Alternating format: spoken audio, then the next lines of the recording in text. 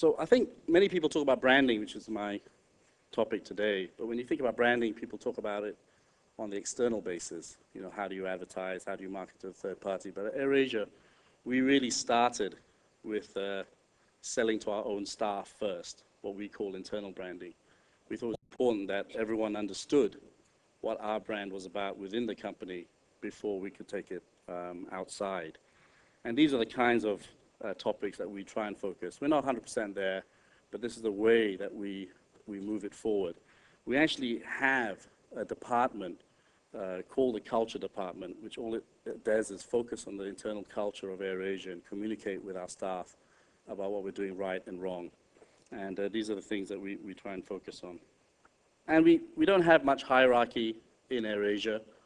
Uh, we generally all in the same office. Our office is on the ramp uh, underneath gate A6. If you open the door, you'll see our planes. We're all in one office generally. We don't have any walls. Uh, we don't, um, everyone's there, finance, engineering, pilots, cabin crew. And um, we knock as many walls together so you don't have all these internal uh, em empires within the airline.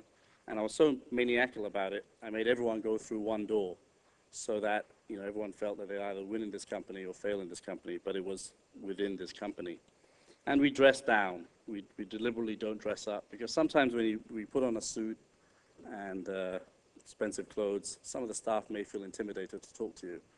Um, I generally wear what I'm wearing now. It does get me into problems with Malaysian airport security who think I'm a Bangladeshi immigrant. Um Tan Sri Ase is here uh, to vouch for me, uh, who think I've just jumped off a Biman plane uh, and trying to be the next illegal immigrant. But uh, I think it's important in our culture to make sure everyone feels that they're one family, doesn't matter what position you're in.